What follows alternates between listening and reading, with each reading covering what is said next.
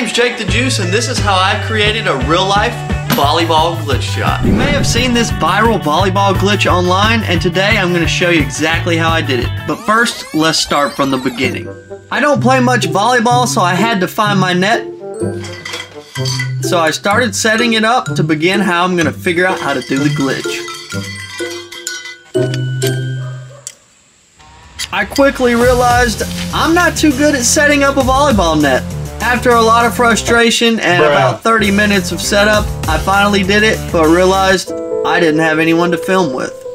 I wasn't going to let this stop me though, so I started practicing different types of trick shots that could look like an illusion. I was at a standstill until I got an idea.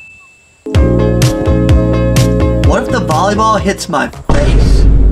I think this could actually be the key to making the glitch. I didn't have anybody to hit the ball to me, so I used this tree to bounce it back to myself. That didn't last too long before I realized I needed to call my brother to get some help. We started practicing this technique of using my forehead and then making a follow-through motion to see if it looked good. Dude, that looked good from over here. I think I got the wrong idea one time and hit him in the face instead. Then, it happened. I created the first volleyball glitch shot. And that's how I use my face to create a viral volleyball glitch trick shot in real life. Stay tuned for the next tutorial, and I'll catch you next time.